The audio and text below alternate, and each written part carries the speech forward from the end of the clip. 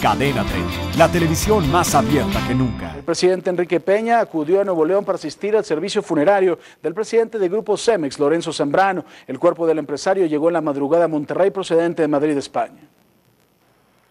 Familiares, amigos y personalidades del mundo político, empresarial e intelectual acudieron a la ceremonia religiosa para despedir al empresario regiomontano Lorenzo Zambrano, la cual se celebró en la parroquia de Nuestra Señora de Fátima del municipio de San Pedro Garza García.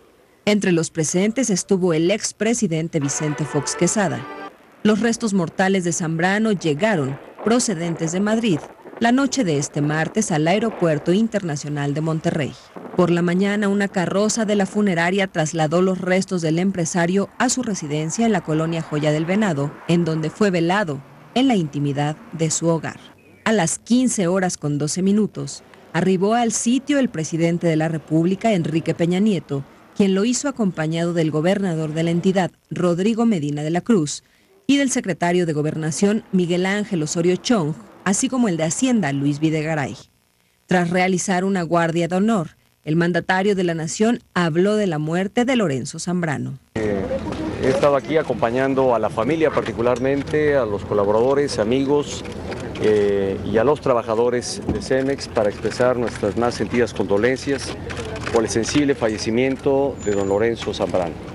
Y pues hacer un reconocimiento a quien sin duda fue un gran empresario mexicano, que creyó siempre en México, fue un gran promotor de la educación de México, un gran eh, promotor del desarrollo de nuestro país, un gran generador de empleos a través de la empresa que él encabezaba. México expresa eh, a través del presidente de la República su más sentido pésame y más amplias condolencias, insisto, a familiares, amigos, colaboradores y trabajadores de esta empresa. Al final de la ceremonia religiosa se exaltó el legado del empresario regiomontano, quien estuvo al frente de Cemex desde 1985 y logró posicionar a la cementera como la tercera más importante del mundo.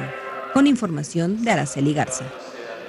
El Pleno de la Cámara de Diputados guardó un minuto de silencio en homenaje y reconocimiento al empresario regiomontano Lorenzo Zambrano. A propuesta del legislador priista Javier Treviño, los representantes de las siete fracciones parlamentarias rindieron de pie un homenaje al presidente y director general de CEMEX.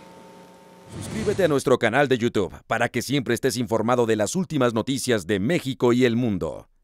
Empieza ahora mismo dándole clic a estos videos.